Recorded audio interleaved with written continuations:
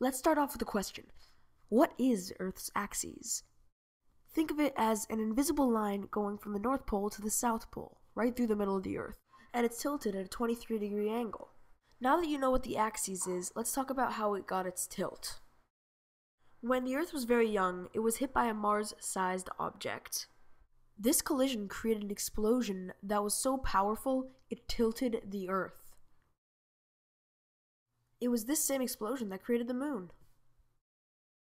Also, if the axis wasn't tilted, we would only have one season, which would get really boring quickly. Well, that's how Earth got its tilted axes, and I hope you learned something.